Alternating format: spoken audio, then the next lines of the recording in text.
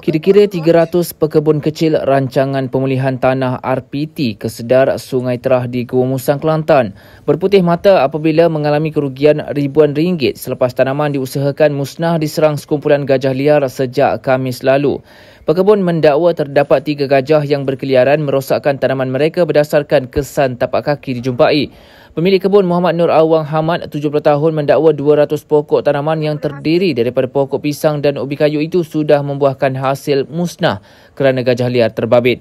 Katanya dalam kejadian terbaru yang berlaku pada malam Jumaat, empat guni garam yang dijadikan baja pokok turut dirosakkan gajah liar terbabit.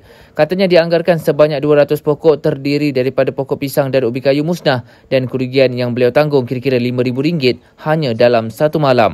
Beliau berkata ketika ditemui di kebunnya, bagi Wan Abu Talib, Wan Jusoh, 69 tahun berkata, kejadian yang berlaku bermula pada Kamis malam itu menyebabkan penduduk mengalami kerugian kerana pokok yang ditanam sudah membuahkan hasil.